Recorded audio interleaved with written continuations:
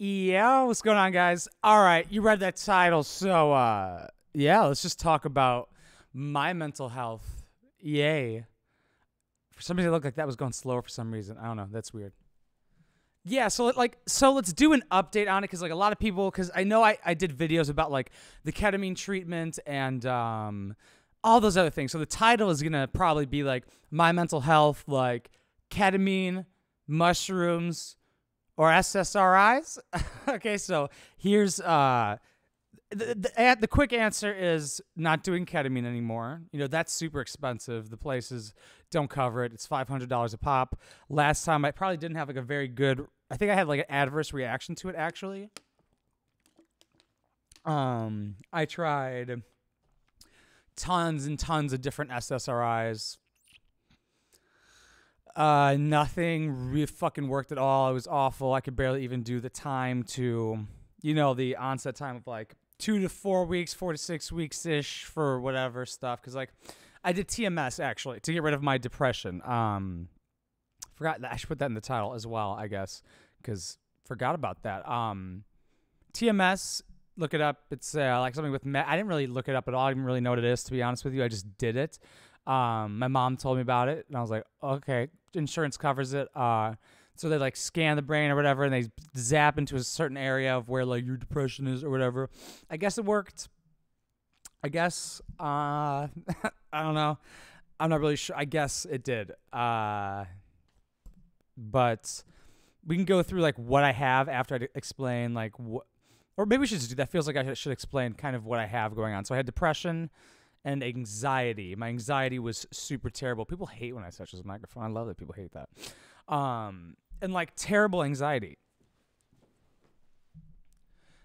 And so the TMS actually would make my anxiety worse, but take away the depression. They did some kind of wrong with it. Not really wrong, but I guess it just kind of increased my anxiety and it can do that. And then they'll like switch to the right side, but they didn't switch to the right side to mitigate the anxiety or something. What because it was like based off of like I would be like, how how do you feel? Like, do you feel this way? How many days a week? You the stupid questions they ask you if you've been through the stuff. You know what I mean? Like some days, several days, all days. It's like what? What is some days? Like you know what I'm saying? It's stupid. Uh, so that might have increased my anxiety a little bit. We tried ketamine, I think, before that, and that I, for some reason just didn't go well. I just wasn't really just doing well at all till recently, right? Um and I'm not fucking sure why. I mean, like we you have to find what works for you, I guess, right? So if you're uh, like I'm super SSRI resistant.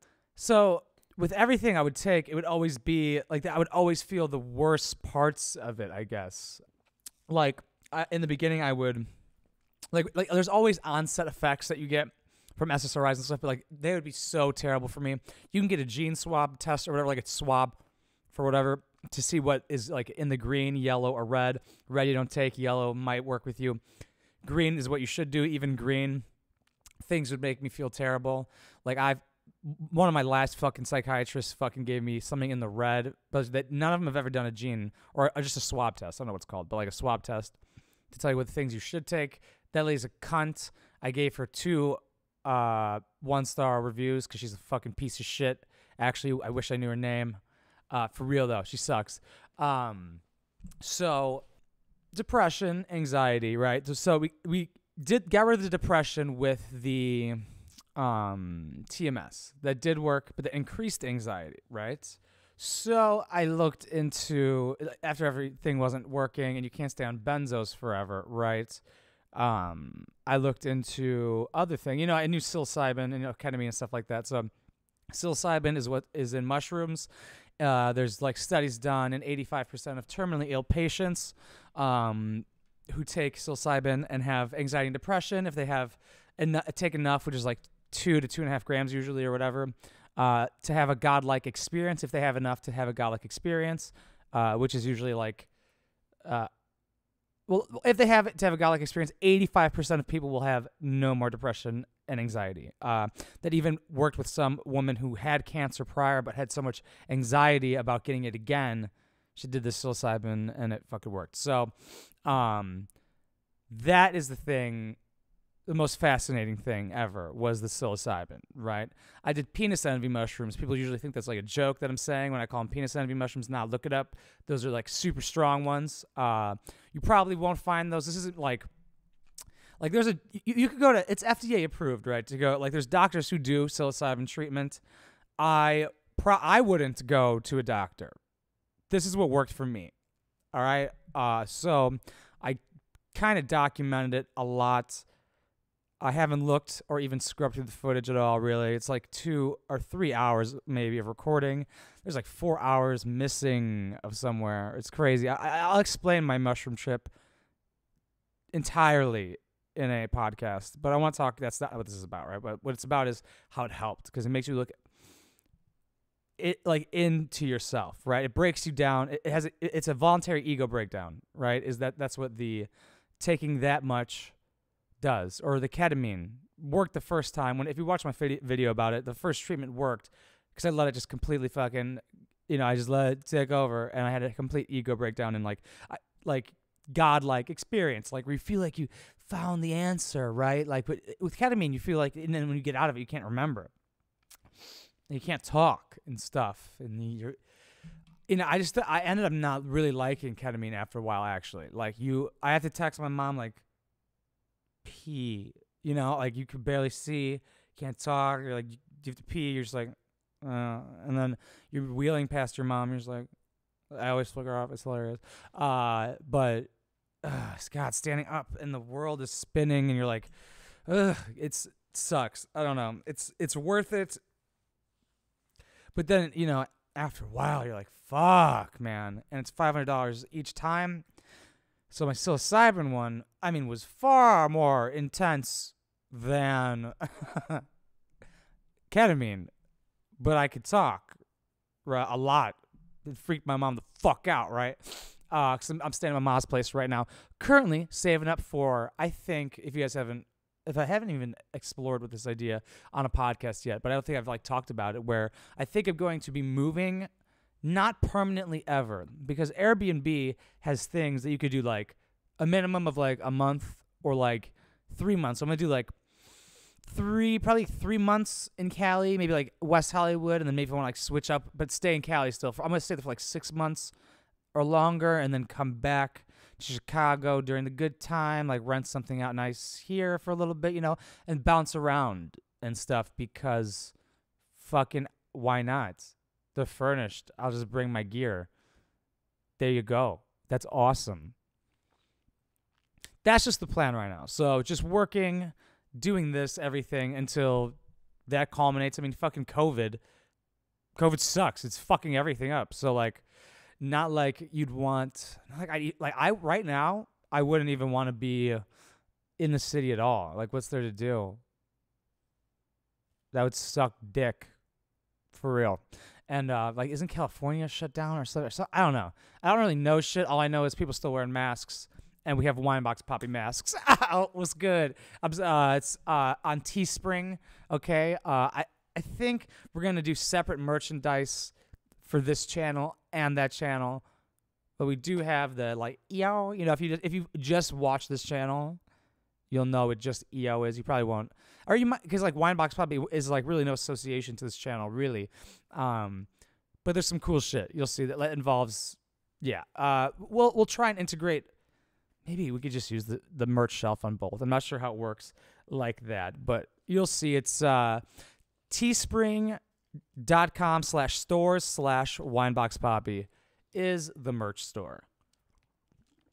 As of right now, there's one pair of leggings and one mask. After this, I'm going to upload another mask and maybe uh, something else. But yeah, if you want to check that out, or if you don't want to do that, stuff below. Links down below for everything, honestly. Um, but back to the mental health. So that had a real breakthrough. You know, it brought me down to my core of what I really am. The mushrooms, uh, voluntary ego breakdown. You know, everything. Every, it just brings you down to you, 100% you. Uh, it also helped me work with my self talk as well, right? And like the shadow, you know, if you have to, uh, Carl Jung's, is it Jung, Jung, whatever, Jung, uh, the shadow. I listen to Jordan Peterson. I've never listened. So Jordan Peterson talks about the shadow and stuff, integrating the shadow and stuff. I would look that up. I can't. I don't really have the vocabulary to explain that. To be honest with you, um, but I'm a person who has terrible self-talk and stuff like that. Like, uh, like super harsh on myself. Really, uh, I expect way too much from myself. I, uh, you know, I don't know. I don't give myself a break. Way too hard on myself. But everything, everything, everything. Uh, it's terrible. Like that's where like if it, when I have some anxiety a little bit, right? Because right now I'm right now I'm perfect, and so I'm getting off of uh, benzodiazepines because of the mushroom trip took away the anxiety. You know, it showed me what I what I truly have. Uh, to me, obviously, this sounds narcissistic uh, to say out loud, and I, I referenced that quite a bit in when I was documenting it, right? When I was talking about it, but all it showed me was my core was uh, all I am is intellect and humor. That's all I have. No anxiety. I was like, there's no anxiety at all, right? Which is crazy, right? Because you can have feeling, but because uh, anxiety is fear, and I'm not afraid of anything, right? Except for spiders. I have arachnophobia. Might document that before like you know stand up takes off and then I have to go on tour to Australia, right? Like that's the only fucking reason I would ever get rid of my arachnophobia. God, because I would do the one where they fucking force you to touch it. You guys would want to see that either way. Fuck, it, I'll do it one day. Um, but it's like a good, uh, you know, comedians travel everywhere, so. Uh, but like Australia has the fucking spires the size of uh, dinner plates. It's crazy you need a fucking sword, bro. And they probably wouldn't let you bring one, to be honest. Uh, and kangaroos, you can see if you open up the pouch, yeah, it's just them, eh, the bones and organs. How are they alive? Like, not even by like, how is that a thing? But like, because I don't know, we have assholes that's a hole, so is my mouth. I don't know. But like, how are you? Kill them. That's pretty much what I'm saying. It's fucking insane. It scared me a lot. Look it up.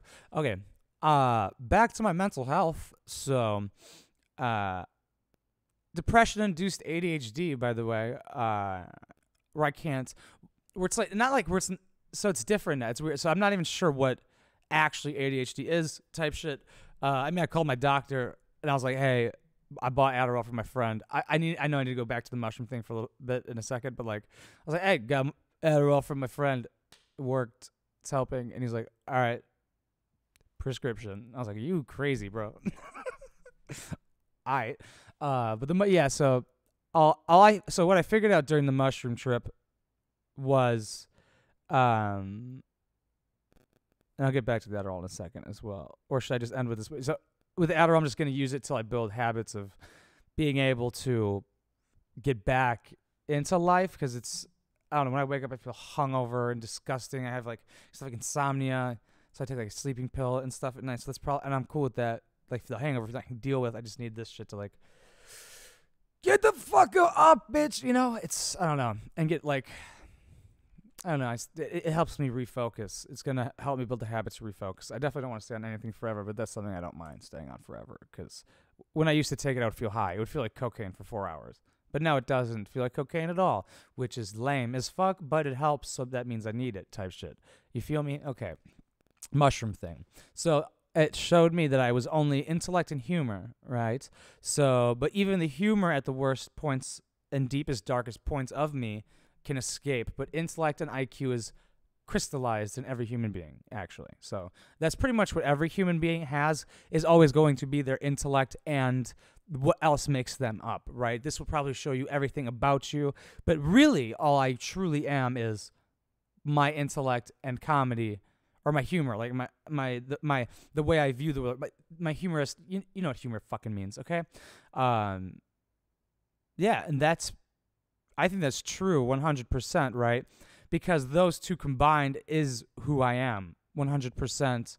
Um, because I can go full humor or I can go full intellectual type thing with this, and that's you know, an intellectual. Just look at the definition, right? Of like look, looking inward, um, and learning and asking questions and learning about society inwardly and stuff like that. It's not just about like I don't just it. It just sounds cunty to like say stuff like that. So I kind of feel like I have to put like a see how stupid I am. I don't even know what the fuck you would put in a book. Would it be Would you put an asterisk and be like, I feel like a cunt? Like I don't know. When I write a book, for no reason, I'll fucking find out. I'm sure. And use words that uh, I have to look up to make me sound smarter, like a plum. Yeah. Actually, I'm a re. I'll I'll tell the story one day. Somebody remind me to tell the story about a plum. But it showed me. So the intellect showed me. Um, you don't have like I was like I don't have anxiety. There's that's not in me at all. There's not like depression wasn't in me at all. There was no anxiety. So I was like, what the fuck is the problem that like so then there you go, right the answer is right there actually. The answer is in the question. What's the problem then? And that's what I ask myself. So let's let's simplify this. Let's look at it. So what I somehow came to the conclusion of was Mark, you don't you don't have anxiety. You just think there's a problem and you're always trying to solve it and it's frustrating you. You just have a you just think you have a problem and you're trying to solve it. There is no problem. Right? So if I'm ever anxious or have that somewhat feeling of anxious, I go, what's the problem? Let's look at it from an intellectual perspective. Let's let's let's think about it. What's the problem? What's what are you afraid of? Oh, nothing. you see what I'm saying? Right? Um there are times where of course that can't work and that has happened currently it's happening currently with getting off of benzos. I'm getting off of benzos, benzodiazepines which are like Xanax, uh Klonopin, shit like that. Um because you know, I saw what happened to Jordan Peterson. He got he developed a benzodiazepine dependency and that is not fucking good. Uh and doctors, he th- he so to me Jordan Peterson usually what he says is uh fact. He's not going to really say shit that isn't not true, right? Uh so he thinks that the benzo epidemic epidemic might be worse than the opioid because especially with this covid thing man people are probably i don't know and yeah i mean even it makes sense because people get benzos young people get addicted to benzos young because this hip-hop shit man. A lot of people are already addicted to benzos. Like i've known people who've gotten off benzos already like that were not you know type like not like or either not prescribed it or prescribed it like that's already happened at younger stages. They just throw benzos like crazy. Oh you have anxiety? Bah benzos. Oh you have more anxiety? Bah bah bah benzos. Like same with opioids. Oh you're hurting? Bah opioids. Yeah like that happened to me when i i mean like i had to had back surgery and i had to take uh hydro. Of course like they took a fucking part of my fucking spine like oh god. So i had like part of my spine uh so i have sciatica uh, L5S1, I think, area or whatever.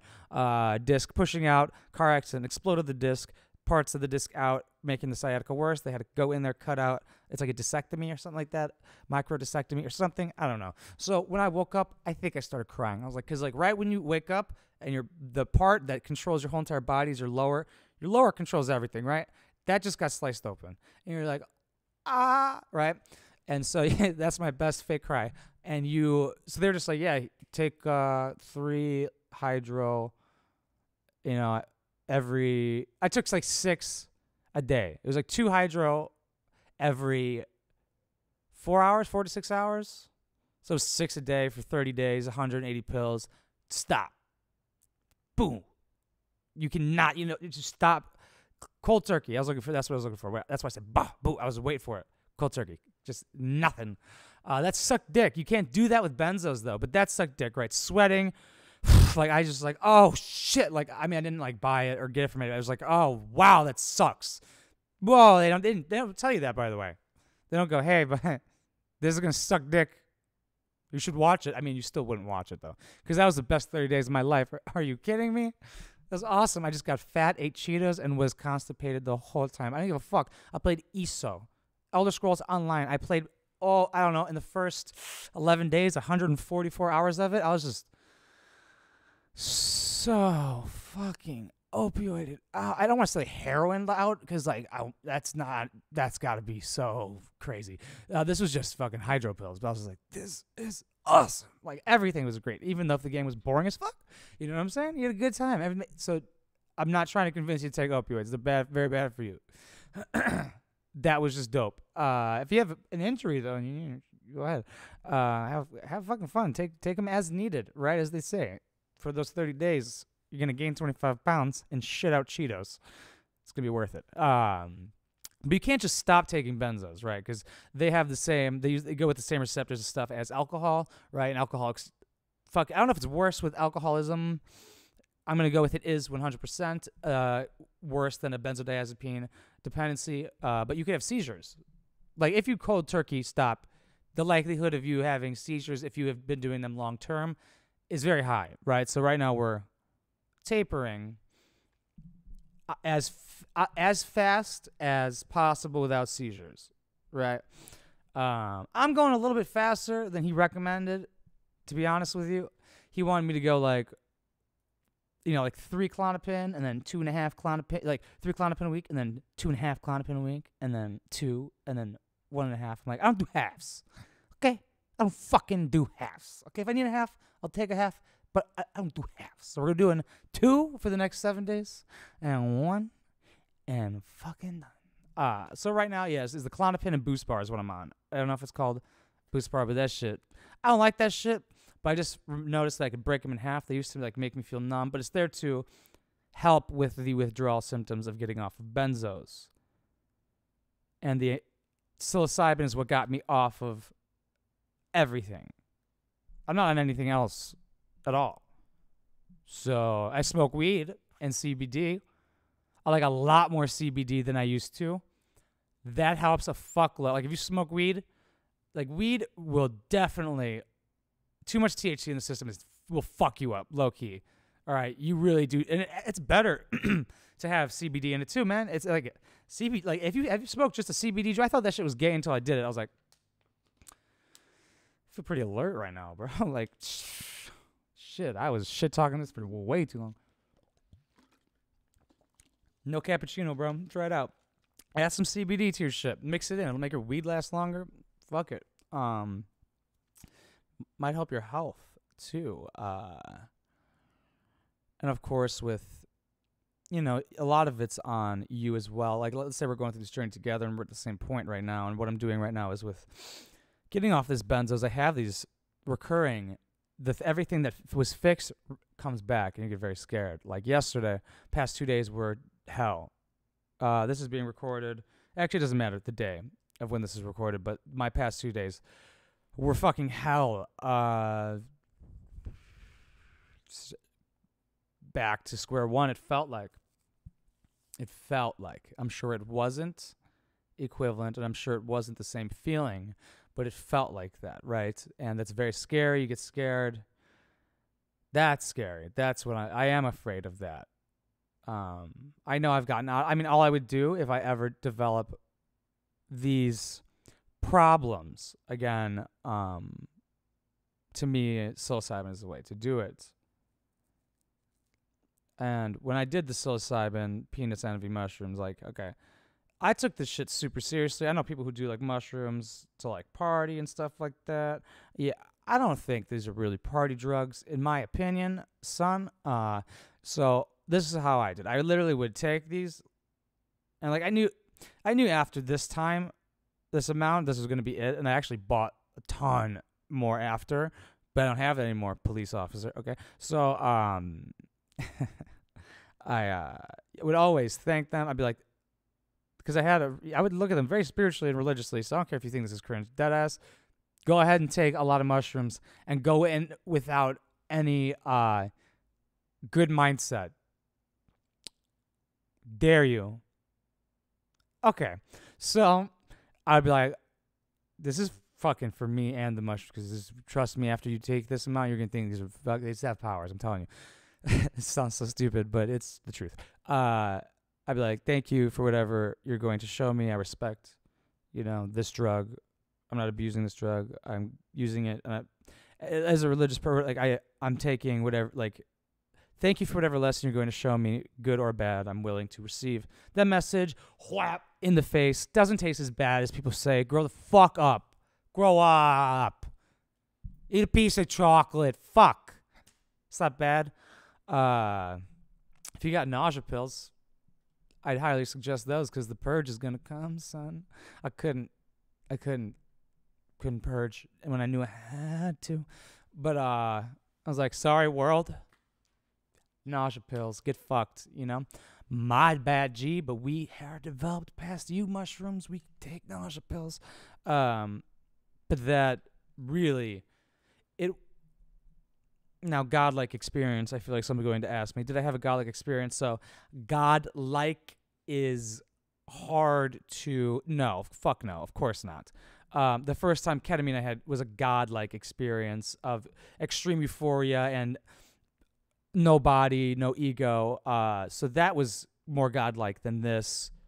This was more aware and everything. Um, so to really before to top top this off without talking about all of it because I, I want to make a video about it, but the you know with what happened was like, and I've asked my friends. My friends have had the same experience, but like I literally had the eyes of a child.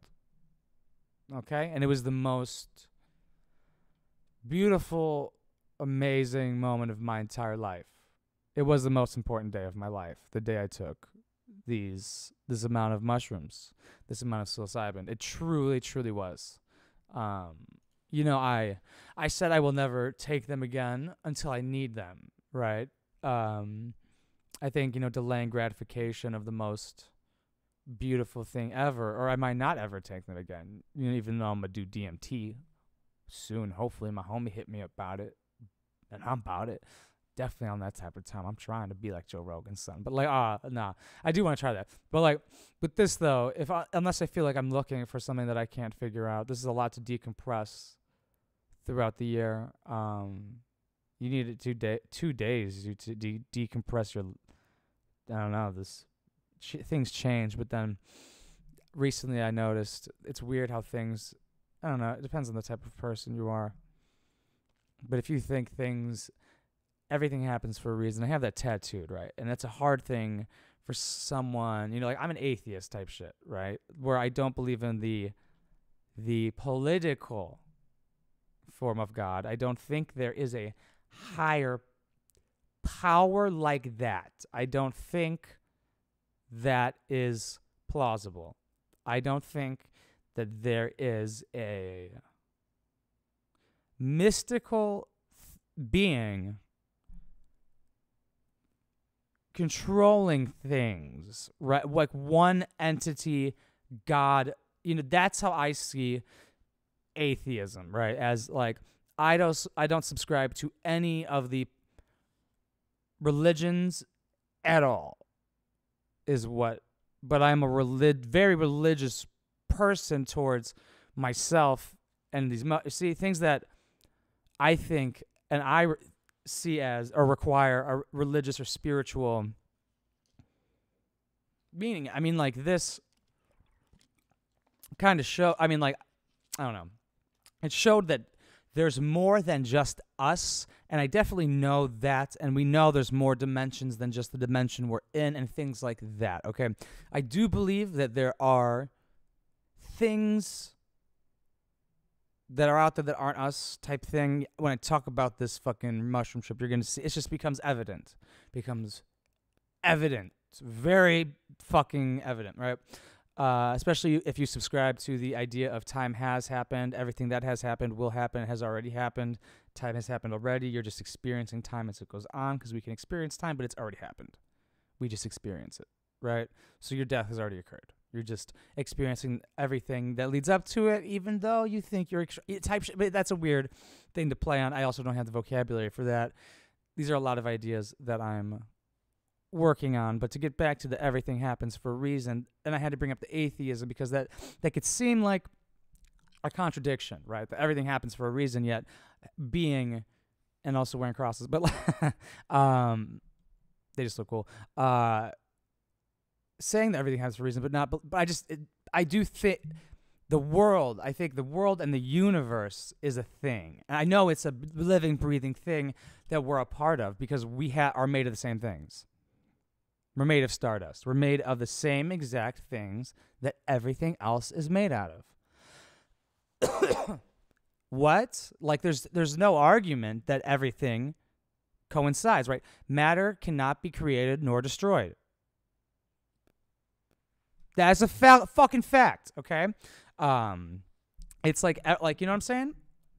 Um, that you cannot create something out of nothing, right?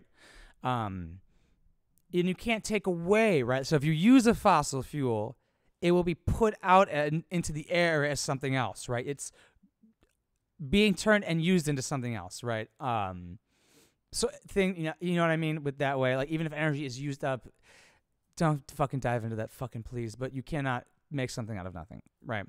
Um, so back to I'm really bad at this, especially. Fucking took a Klonopin, but I'm uh, you know Klonopin makes you really bad with memory. So the part of where everything happens for a reason, where you kind of oh yeah, I get signs. It's like I needed to hear this right away because I was really leaning hard on the new perspective change that that were that the rebirth gave me, right? Of the having the eyes of a child, of the that the mushrooms gave me a brand new perspective. Like I could, like I looked onto this loft that I'm on, where I'm looking at these lights and everything. I couldn't tell you what anything was. Everything with life was beautiful, and amazing, and interesting, right? There's no fear of anything because nothing was anything, because a newborn has no idea of anything. But then I noticed that I was a 25 year old with the eyes of a fucking child and it was fucking fascinating. Beautiful. I cried 100%. Not like crazy cry, but I was like, you know, the tears just like of just pure beauty, of just at awe of looking at things that are normal and being so curious again and being so it was a rebirth 100% to to experience that and to to delay that gratification i think is very noble i think to chase that is dangerous because that definitely was the best day of my life, like I said. So I think trying to chase that is dangerous, in my opinion. But do what you will, motherfucker. I don't care. I'll go for um. So, I. Th- it's a, it's a. Right now, we're gonna see what happens after all the benzos are out. But I think um, with I, you know having a therapist, uh, doing talk therapy and stuff, and dealing with the problems that I I do have that are probably like we're dabbling with like uh, borderline personality disorder is kind of what we're thinking.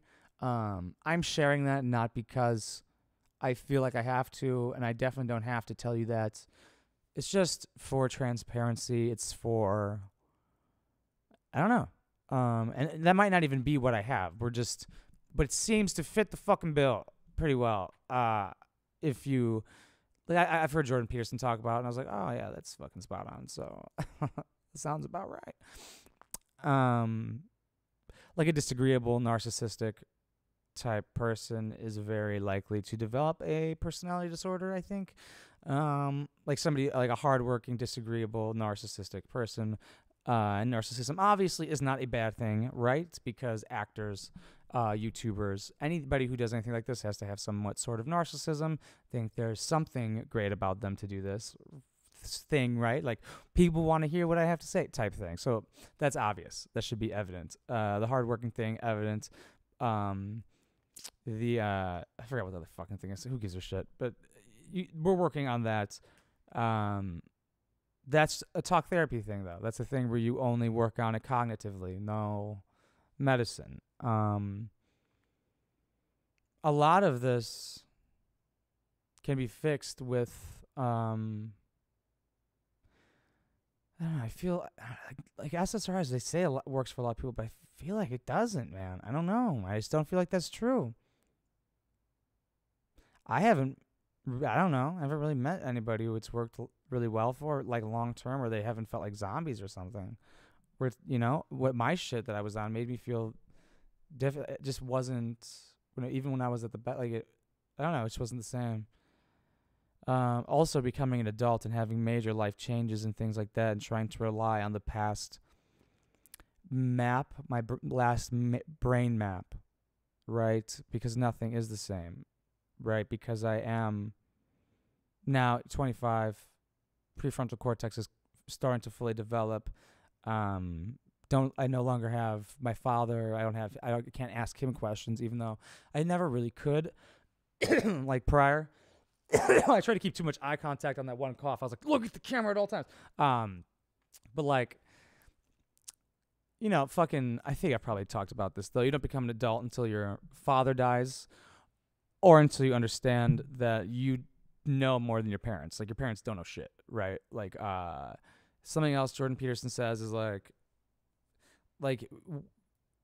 If you still value your parents, like, why do you value your parents' opinion more than somebody else's fucking random like random parents. They're just adults, right? They like I get they know you better to an extent, but they still don't know what's best for you. They don't know everything about you. You don't tell your parents everything, right? Like that. So, and then and like if you care so much about their opinion more than others, you might still be looking at them as gods and stuff, depending on your age. That's not good at all. Um, I think looking up to anybody's opinion at all really hard. Taking anybody's opinion as truth is stupid aside from your own, right? You can like say I mean if like people were to give me constructive criticism, I would look at everything and gather them as a whole and create my own ideal and opinion based off of others and stuff like that, but it wouldn't be like it would have to be somebody I really look up to like would, I mean obviously like if Jordan Peterson gave me an opinion, I would probably be like really? Seriously take a look at it, but the you know I feel like you know what I'm saying. Like most people's opinion uh, doesn't mean fucking shit, good or bad, in either direction. Actually, um, I don't think I'm missing anything because I want to end on something of how that can help for people. A lot of people might be dealing with like comments, maybe, um, or the way people think of them, their opinions of them. Now, it doesn't have to be just you dealing with comments, not with you being bullied. Maybe it's just people people's opinion of you is bad or something or like anything. Somebody asked me re- re- recently like I think it's going to be coming up in uh, just my advice about people having a bad opinion about them. So this, like that might be more normal than before, but also you need to audit what you do. Maybe it wasn't the last one actually, but audit what you're doing. Maybe you did something bad for them to create a bad opinion of you. However, opinions of people don't matter. The opinion, the only opinion that matters is your own, right? And um, I think everybody should 100% fully be themselves at all times, right? That's the problem with workplaces. Like workplaces stifle the individual so hard. Like when I worked at fucking Nordstrom Rack, sometimes they wouldn't even let us talk while doing stuff. When I worked at Home Depot, they wouldn't let me bend over the counter because I have a bad a bad back. I was like, "Fuck you, bro! I'm gonna bend over on this counter. Either you're gonna fire me over this, or I'm gonna bend on this counter, asshole." Never got fired over that. I quit that bitch. Fuck Home Depot. Fuck Nordstrom Rack. Both those places suck cock. Man, watch me just lose millions of dollars of sponsorship. I would never want to fucking work with either of them. Imagine me sponsored by Home Depot. Come and get your lumber that I fucked up one time and I knew it was the wrong lumber. Huge load of lumber. Huge. I was like, oh shit, that was the wrong wood. Is that the right wood, Mark? Yep. Ship it out. You know why? I got paid like 11 an hour. I don't give a fuck. Because guess what? That got sent back somebody else said. He's like, hey man, those are the wrong word. I was like, ah shit, my bad. First day doing that. He's like, yeah, understandable. I get it. It's cool, man. I was like, all right. Problem solved. Fuck them. Are you kidding me? Oh, God, I got yelled at for letting leaving somebody on hold for a little bit too long. I was like, I, I'm dealing with a lot of shit here for eleven dollars an hour. Okay, they're like, you can't leave a fucking person on hold for that long. I'm like, I don't give a fuck about this person. I'll tell this person to eat my dick. Hey, Home Depot, eat my penis. That would probably fucking bring them a lot of business, honestly. Uh, oh man, imagine like a McDonald's working with me. I know uh, your mom's house worked with them, but like, and then lost the sponsorship. Do they still have the sponsorship? Uh, I know they got it back, but did they, did they, did they lose it again? I don't know. Whatever. I'm going on a tangent now, but I'm going to end it with this might help people be themselves more. Okay, this is a story I learned from I don't remember fucking who. I want to say that Elliot that Ask Elliot dude. I don't know though. I'm not sure. So, story goes like this, okay? I think I've told this before. Uh, and this helps a lot because it, you, the, Gary Vee says, and this is true, how much you value the good comments is how much you're going to value the bad comments, right? You're going to value them equally. So this is what you should do, okay?